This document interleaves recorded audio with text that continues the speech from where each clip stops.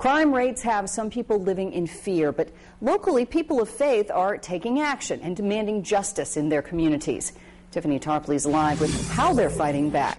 Well, Toledoans United for Social Action have done their research and found there are ways to reduce the crime rate, so they presented their concerns to county officials, asking them to take a look at their solutions.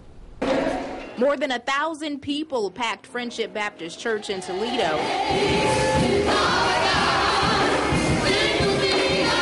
Through song, prayer, and biblical teachings, these people of faith crossed color and denominational lines to come together and fight using social action.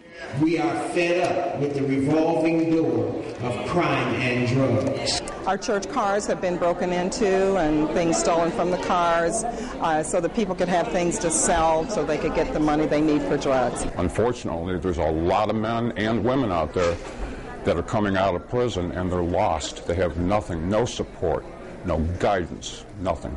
Rick Schmidt knows all too well what life is like after prison. He'd been in and out of it for 12 years. Now he's telling his story to members of more than 20 different churches who make up Toledoans United for Social Action, as well as local officials, including the Lucas County Sheriff and a commissioner. The more churches and the more people that we get involved in this, uh, the more power we will have to uh, to address those who are in power in this community. And through that power, they're going beyond church walls to get justice and bring about change.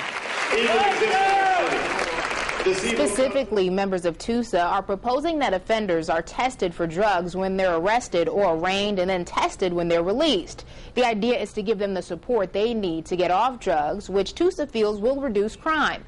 I'm told two common pleas judges were asked to attend but declined the request. Reporting live, Tiffany Tarpley, Fox Toledo News.